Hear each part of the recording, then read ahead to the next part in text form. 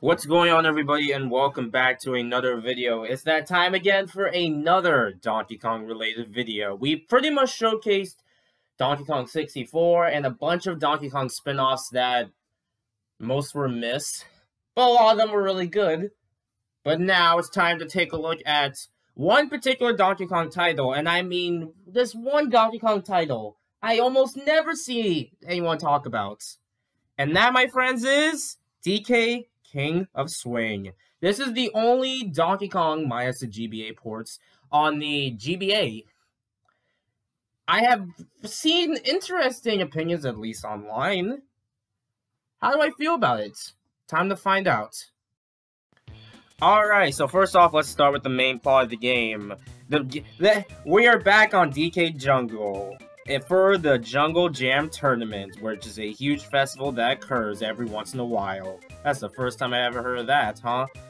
But, King K. Rool's up to his old shenanigans again, instead of kidnapping Donkey Kong or Diddy Kong, he takes all the medals of the festival, and it's up to DK to uh, get the, all the medals back.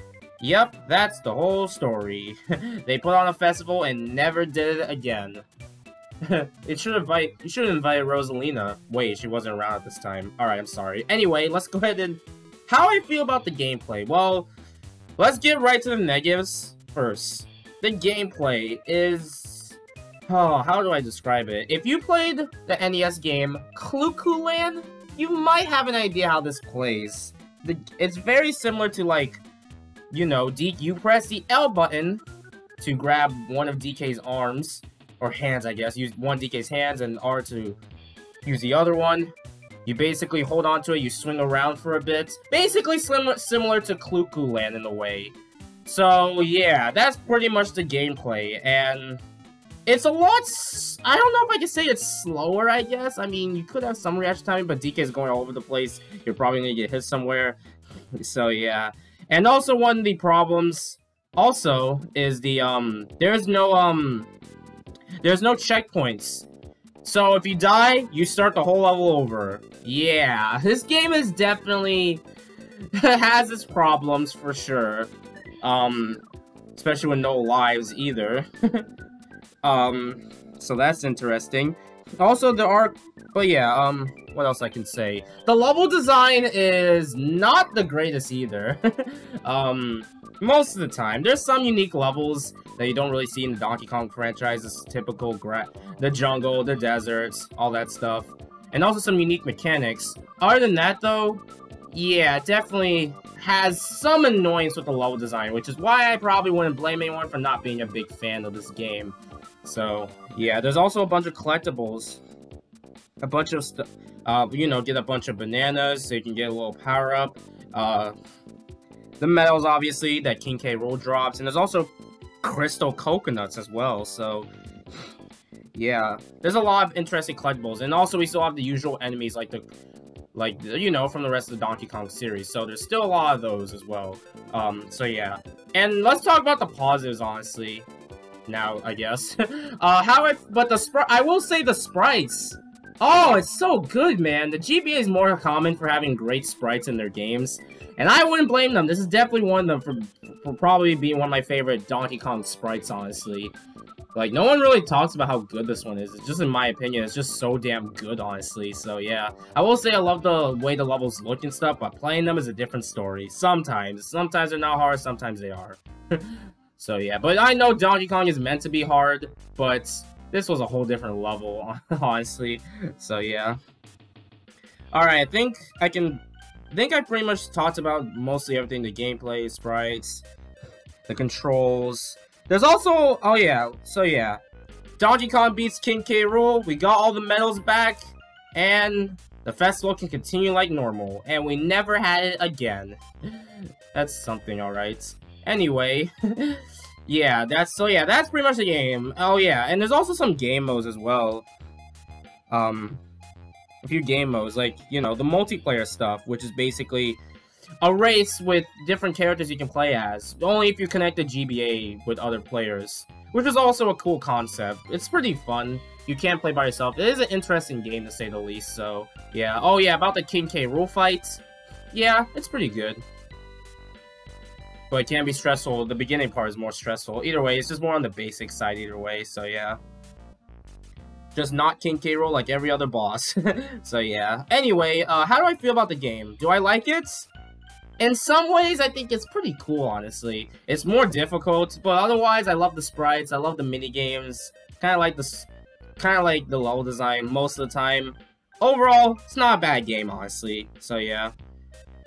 Did you guys remember there was a sequel, though? Yes, there's a sequel. So yes, there was a sequel. For the Nintendo DS, we have DK Jungle Climber. The plot of the game is DK and the, the whole Kong family is having a nice vacation on Sun Sun Island. First time I'll ever hear about that in a Donkey Kong game. Uh, Diddy sees a giant banana and it's up and he and Donkey Kong are going to the top of the mountain to see what the huge banana is all about. And of course, guess who's involved? King K. Rool. Gotta deal with the shenanigans again. So the gameplay is basically the same as uh, King of the Swing, but the only difference is we have lives. That's something. The controls feel a lot better because we have Diddy Kong now, so you'll have extra hits, like two hits like the original Donkey Kong Country. Oh, shoot. Yeah, you have two hits just like the original Donkey Kong Country. And, um, level design is a little more fair for the most part. And also, there's in-game cutscenes, kinda. So yeah, that's pretty much how I feel about this. Um, as for the artwork, I mean, I know it's a DS game. I don't know, I prefer the sprites of King of Swing. Jungle Climber is the better, better experience if you don't want to, oh man, raging every time, because at least you die, you start at the next level, you, the next area, basically. But yeah, honestly, these can really be interchangeable at times, honestly. But otherwise, the games are pretty much the game is pretty much similar to King of Swing with just different level design. That's a little more fair, and I mean, it would make sense. People probably, assuming if you grew up with this game, I didn't. so yeah. Oh yeah, I guess I could. So yeah. Um, there are some mini games as well, as which are mostly multiplayer, of course, just like just like the GBA, there are different, you need to connect the DS to play with these. I haven't really played any of these, but they seem pretty cool, honestly, so, yeah. Alright, so let's go ahead and talk about the end game, since I pretty much, I don't think I, I think, I feel like everything I would say is basically similar to King of Swing. King K. Rool! After you beat him the same way in King of Swing, he grows big! Totally not the first time this has ever happened before. This was the last time, it, not counting Sluggers, this was the last time King K. Rool was ever the villain in a Donkey Kong game.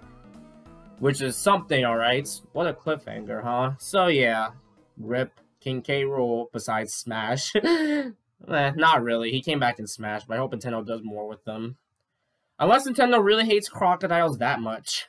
so yeah, that's my opinion on that. I probably prefer, um, I probably prefer Jungle Climber, but the GBA one's pretty cool. So yeah, that's the two Donkey Kong games that are hardly talked about.